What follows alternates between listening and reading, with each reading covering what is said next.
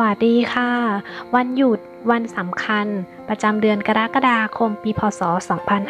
2566 มีดังต่อไปนี้ค่ะ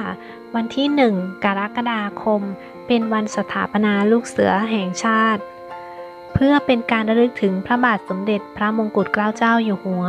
ผู้ทรงก่อตั้งกิจการลูกเสือไทยให้พัฒนารุ่งเรือง มาจวบจนถึงทุกวันทางราชการจึงกำหนดให้ทุกวันที่ 1 กรกฎาคมของทุกปี เป็นวันคล้าย วันสถาปนาคณะลูกเสือแห่งชาติค่ะ วันที่ 4 กรกฎาคม วันคล้าย วันประสูติสมเด็จพระเจ้าน้องนางเธอเจ้าฟ้าจุฬาภรณ์วันที่ 6 กรกฎาคม วันจูบสากล วันที่ 7 กรกฎาคม วันพูดความจริงค่ะ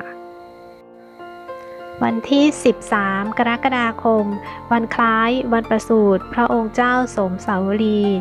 วันที่ 28 กรกฎาคม วันพระบรมราชสมภพในหลวงรัชกาลที่ 10 เป็นวันหยุดราชการด้วยค่ะ วันที่ 29 กรกฎาคม วันภาษาไทยแห่งชาติ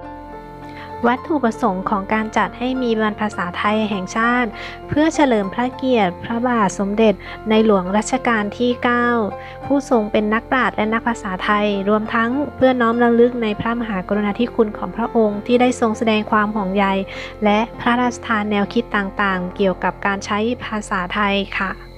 เพื่อกระตุ้นและปลูกจิตสำนึกของคนไทยทั้งชาติให้ตระหนักถึงความสำคัญและคุณค่าของภาษาไทย ตลอดจนร่วมมือร่วมใจกันทำนุบำรุง ส่งเสริมและอนุรักษ์ภาษาไทย ซึ่งเป็นเอกลักษณ์ และเป็นสมบัติวัฒนธรรมอันล้ำค่าของชาติให้อยู่คู่กับไทยตลอดไปค่ะสำหรับวันสำคัญและวันหยุดเดือนกรกฎาคมก็มีเพียงเท่านี้ ขอบคุณทุกคนที่เข้ามารับชมและติดตามค่ะ สวัสดีค่ะ